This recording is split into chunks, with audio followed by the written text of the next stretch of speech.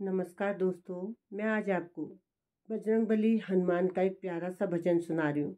यदि आपको पसंद आया, लाइक, सब्सक्राइब दोनों कीजिएगा।